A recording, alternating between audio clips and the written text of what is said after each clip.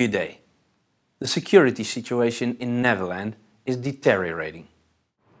A breakdown of infrastructure has affected the supply of provisions to many cities.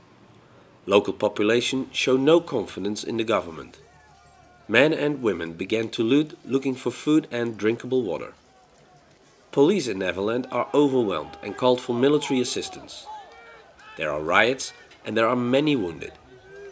Hospitals are getting overcrowded, also receiving many injured people from the natural disaster. Day and night, urban search and rescue teams from the EU continue working at different locations throughout the region of Twente. These teams are self-sufficient, so the operation can continue even in the dark.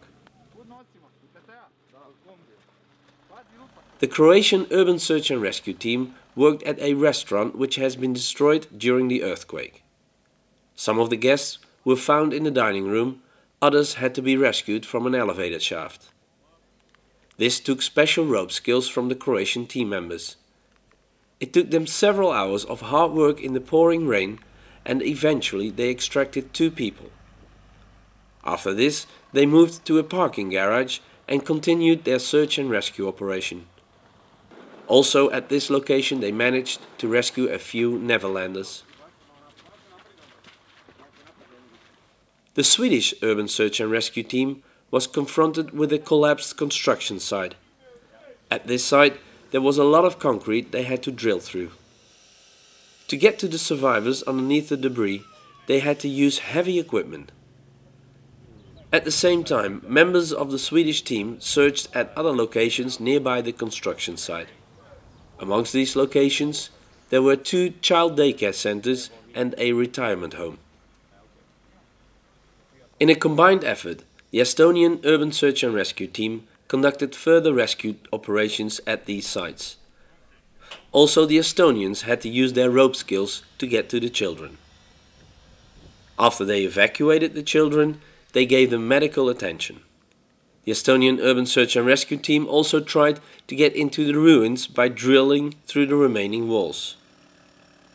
It is unknown how many children in total were found and what their condition is at the moment. The Estonians, together with the Swedish team, set up a combined medical post. To find survivors in these conditions, the teams used specially trained dogs. All three urban search and rescue teams brought their own dogs. These dogs are trained to locate people and to give their handlers a signal. Then the other team members will start the rescue operation. Just like the men and women of the teams, these dogs have an important and riskful job. Today, the dogs were working at all different sites.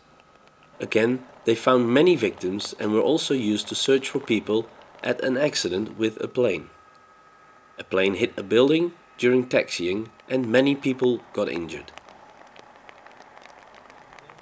This afternoon, a representative of the EU delegation, Mr. Dimitrios Pagidas, visited the EU CPT and TAST team.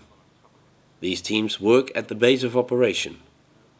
The TAST team assists the coordination team technically and logistically. The coordination team coordinates between local authorities and the EU civil protection teams.